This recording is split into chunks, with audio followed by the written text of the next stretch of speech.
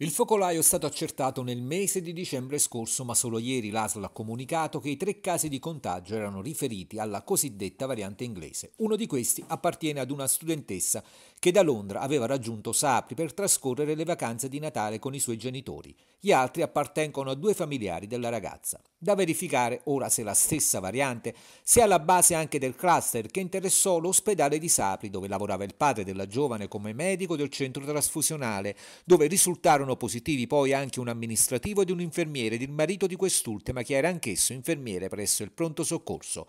Seguendo la catena dei contatti risultò positivo anche il donatore di sangue che aveva avuto contatti con il medico al centro trasfusionale.